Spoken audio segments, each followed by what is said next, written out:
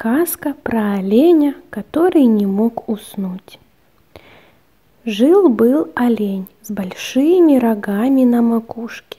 Как-то раз стал олень готовиться ко сну. Он выпил стакан молока с печеньем, почистил зубы, умылся, надел пижаму и лег в кроватку. Все как обычно, только вот в тот вечер олень никак не мог уснуть. Он ворочался в кровати, а сон не приходил. Сначала он решил подумать о чем-то приятном. Он так всегда делал, когда не мог уснуть. Олень подумал про сочную свежую травку на лужайке, затем вспомнил цветных бабочек, порхающих в небе. Но сон никак не приходил. Затем олень стал считать слоников. Так ведь всегда делают, чтобы уснуть.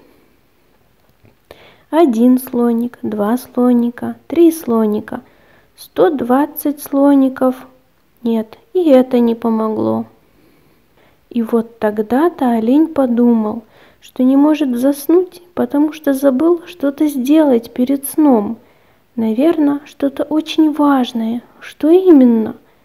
И олень догадался, что не может уснуть, так как забыл убрать за собой игрушки. Вот в чем было дело – Ему даже стало стыдно.